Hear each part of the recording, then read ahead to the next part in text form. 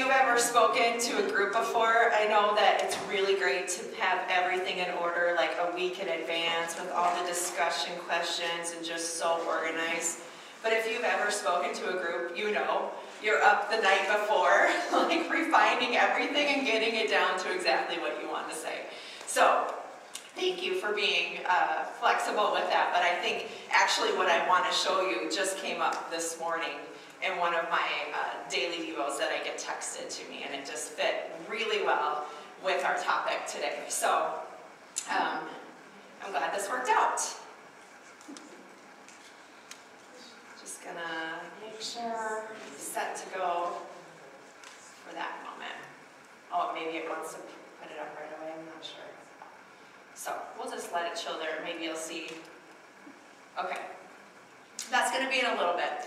Well, if you guys remember, uh, we had a discussion last month about the woman at the well. And it's continuing to speak with me or stick with me as I continue to think about um, her experience with Jesus and how he continues to meet us at our time of need. And whenever I need to go back to the well to hear from Jesus again, he's always there, ready to speak. Well, I've also been noticing, not only do I want to hear Jesus, but I want to see Jesus. And all of you guys have, well not all of you, but many of you have glasses as I look out here, so you might be able to relate to this. But I have a thing about vision. And I've got astigmatism in this eye that we've been watching for years with my doctor. And every time I get an eye exam, they see the little thing that's floating in my eye and I can see that it's just moving around and we're watching that stigmatism. And the eye doctor told me recently that I have early onset cataracts. And I think he told me that when I was 41. So that kind of felt like, oh my, what's happening to my eyes? And so every year we go back, he checks out my cataract and he says, well, you'll know when it goes south.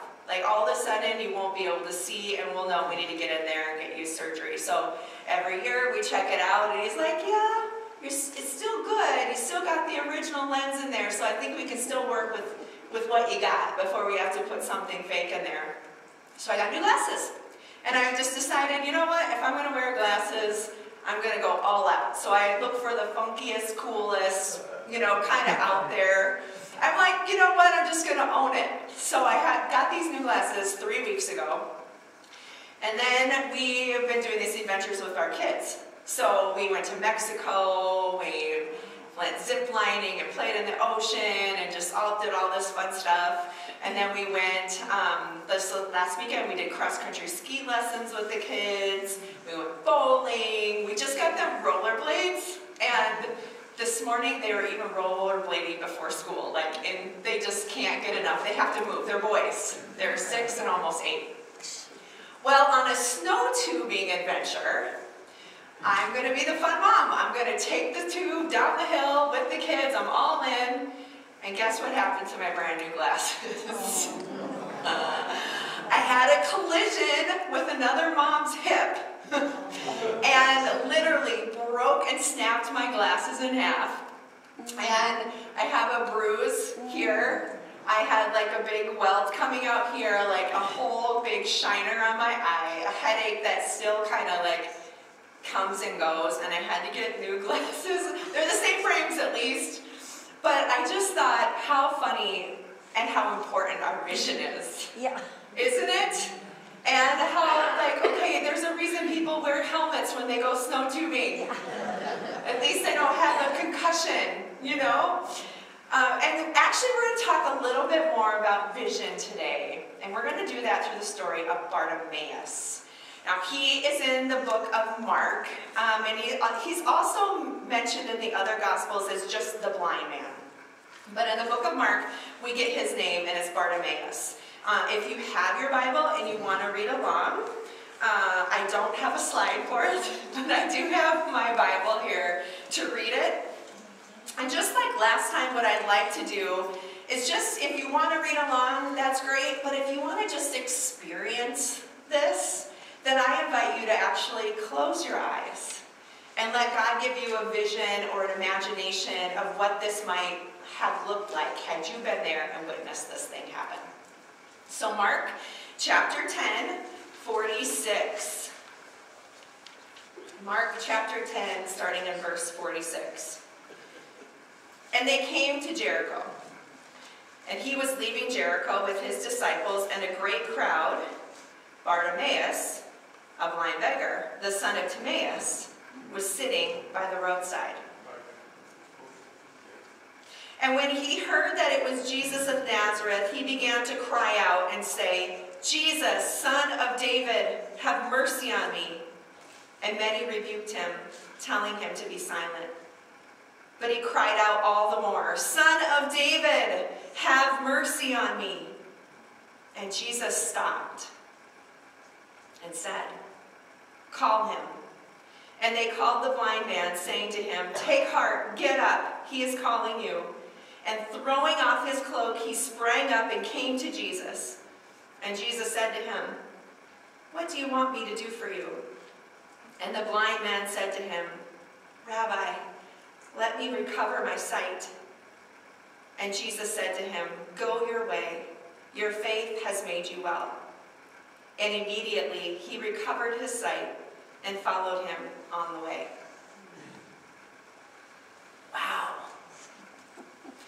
I pulled up some videos actually of trying to find that, that one from The Chosen and you know any gospel rendition of this story to just like feel it myself and see that too. And to imagine Jesus just walking with his disciples. He was on his way, he was on his mission to get to Jerusalem. And then to just be like in this crowd of people, see a beggar who probably people paid no attention to, knew he was there, he was just kind of pushed aside, right? Nobody cared about him. He was always there begging. Who would want anything to do with him? He was blind. He didn't have anything to con contribute to the society. Yet it says he's the son of Timaeus, and just a little bit that I've learned about and research, the son of Timaeus just meant that Timaeus actually was an important person. So he was the son of an important person, and when he called out son of David, he knew that Jesus was an important person who could call, he could call on him to do something. So who knows how he had heard about Jesus. Probably the miracles, probably people like the woman at the well who were running around telling all about. So when he heard that he was coming, I wonder if he thought, this could be my chance. That's actually somebody who could do something for me, who could actually change things for me. Like every day I sit here and I beg for food, and this is my life. But what if there's a chance that he could do something for me? So he called out, Son of David, have mercy on me. And did you see everybody around him rebuked him? Like, oh, what a shame. What is, what is, like, no, don't talk, don't call him out, not you. You know, like, be quiet. We want to, no, we don't want to hear your voice. But then it's like something inside of him compels him even more. But maybe he'll hear. So I'm going to call out again, Son of David, have mercy on me. And what I love about what happens next is those two words, Jesus stopped he got his attention. No one else thought he was worthy of Jesus' attention, but Jesus did. And he stopped. And he said, okay, call him over here. Let me hear what he has to say.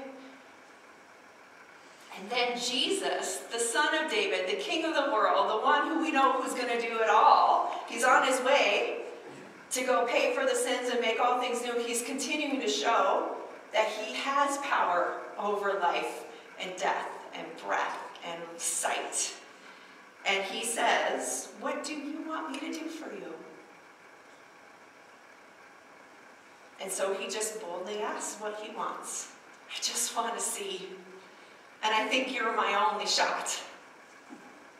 Have you ever had a moment where you thought that same thing? Like, I just want this thing. And I tried everything else. Like, I tried doing it my own way. I tried to go to the doctor and get the surgery. It kind of would be nice not to wear glasses every day. You know, just think I wouldn't have to worry about getting them knocked off or broken. I wouldn't have to switch into like my sunglasses in the sunshine. I wouldn't have to like always be ready to like, oh, I can't see you. You know, like to just not have to worry about that, that would be great. But I tried it my own way. Or maybe there's something in your life that you've just tried your own way. You know, it would just be great if that thing could just be done or gone or just not even an issue anymore. But there's a chance that Jesus could do something about it. What would you ask him? If you got his attention like that, what would you ask for? Are we brave enough to ask God what we really want for? What we really want? I know my prayers are sometimes just a little bit less than that. It's more like, God, help me to accept that I can't change anything. God, help me to like, to just accept your will and to be happy even though I really want this thing, I'm, I'm not going to ask you for that because that's too much to ask. I'm just, I'm just asking. Now, I believe that there's contentment. I think that we should have gratitude and count our blessings and be happy in God's presence and His like fulfillment of just being good to us, that we have a future hope. I totally believe in all that contentment.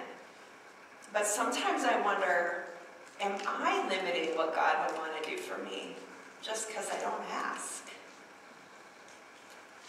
Now, a couple things I wanted to point out about this, even just to think about the woman at the well and Bartimaeus, and to hold those two stories together.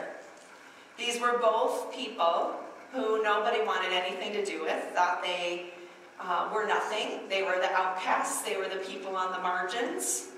They weren't the important religious ones. They weren't the ones standing on the stage. You know, they were the ones out there. And Jesus paid attention to them. Like he came to them, the nobodies. And he lifted their heads, right? So the woman at the well was along her way, and Jesus made sure she ran into him.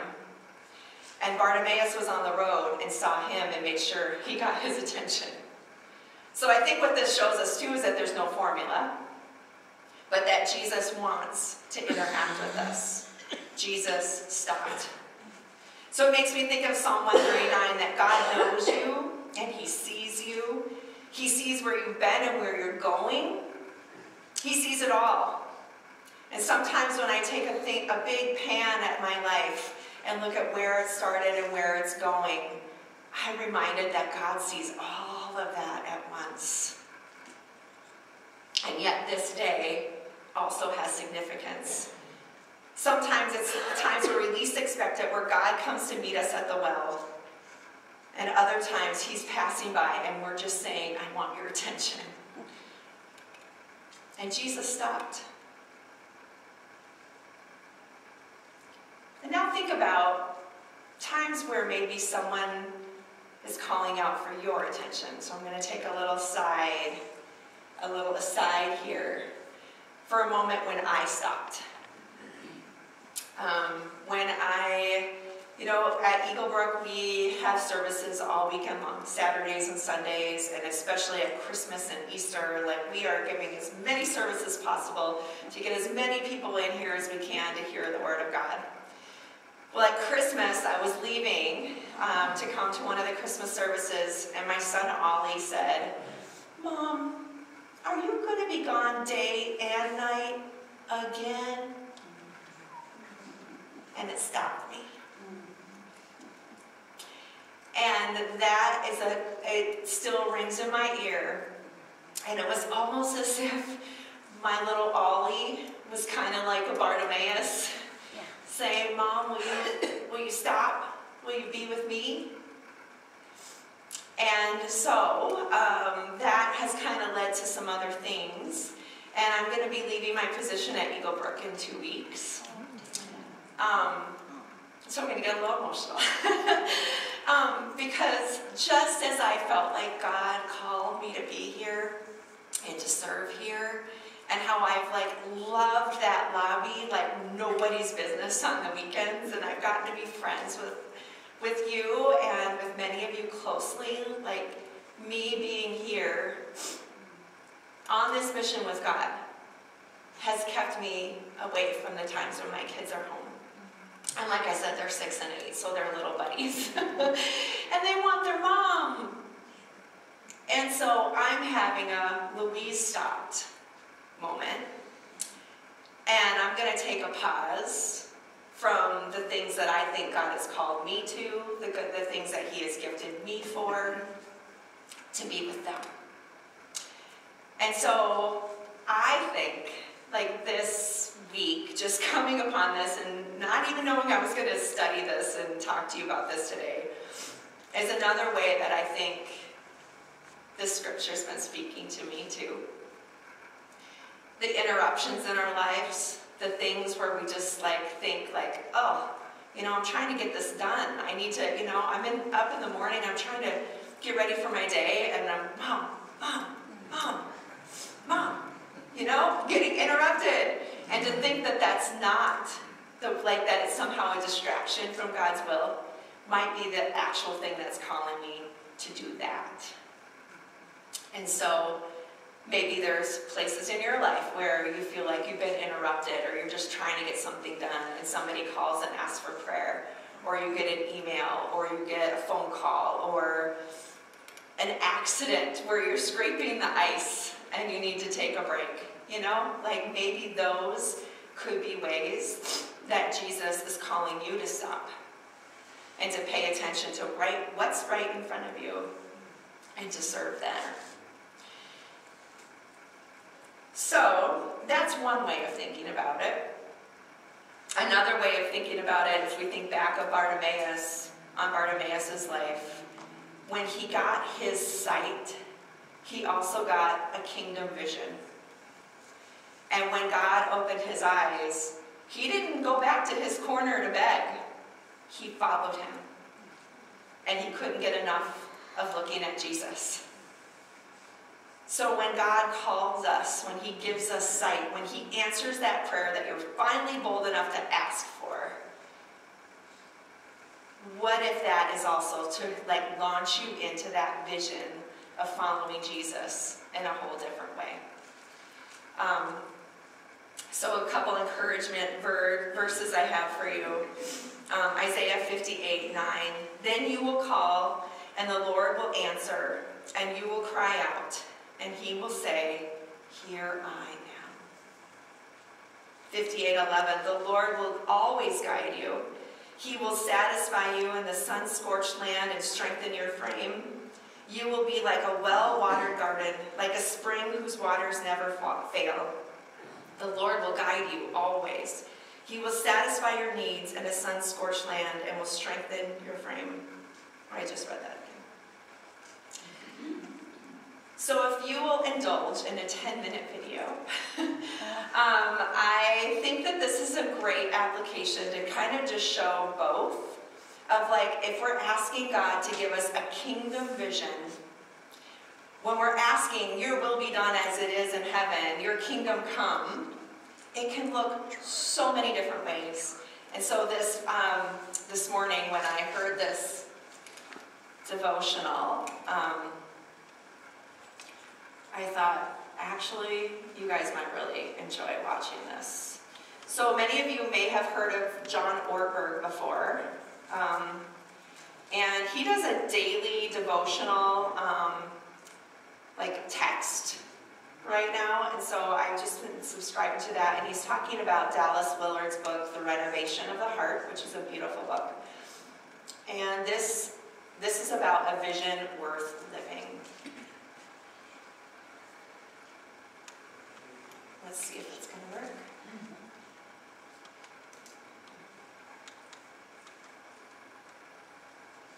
Okay. Is it? okay, our backup plan was to email it to you guys. Yeah. So that might be what we're doing.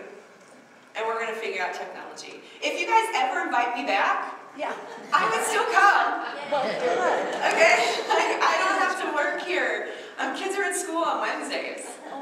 So, um, I, yeah. Then I'll figure out technology for another time. How about that?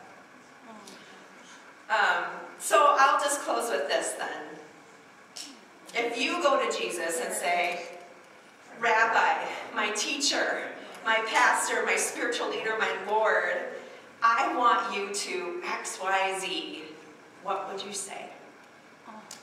So I'm going to lead us in that kind of prayer and let you be brave enough to ask God for the very craziest thing that you could want today. And may He encourage you to continue to sit with Him. Oh God, oh Jesus, you are a Savior who stops. And when we call your name, you say, Here I am. And what I love about that is not even just that I can hear your voice, but that you hear mine. And that you are somebody who answers. That you see our whole life in this big span. And maybe there's things that we're just tired of dealing with. We don't want to sit on the side of the road anymore. We don't want to beg anymore. We want to have sight. We want this thing answered. And you're our only hope for that, God. So if I could say it out loud, I would say, Jesus, I want. I want. I thank you because you answer. And all the prayers that you are answering right now, we're going to open our eyes and watch and see what you have done. Believing that you answer, because when we call, you answer.